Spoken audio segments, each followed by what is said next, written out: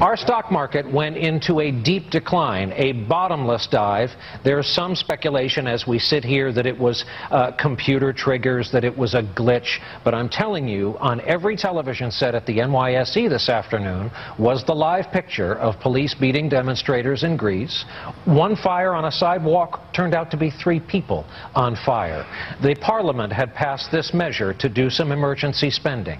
Here's the daisy chain Greece to Portugal to Italy. Germany is kind of Europe's bank. Germany, a lot of this stops at Germany, but we're going to be in some trouble here for a while. The danger is it hurts the U.S. economy.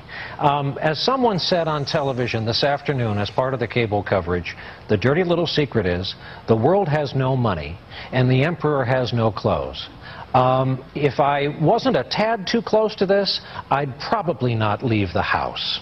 Mm. But that's how bad it is. Okay. So it's easy for people to who have been dismissing, you know, you because you watch this show and say, "Well, you're just you're just a fear monger." No, no, no. No, will you say that about Brian Williams?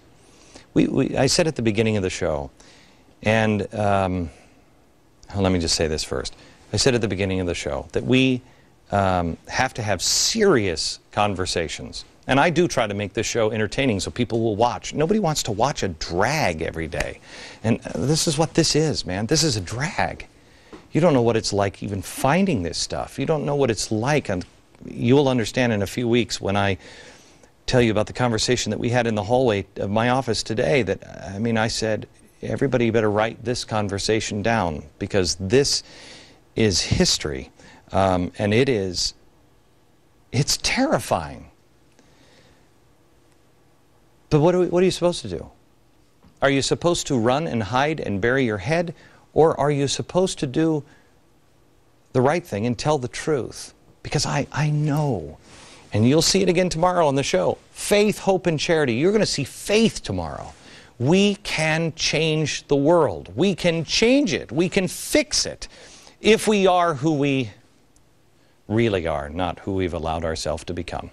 Back in just a second.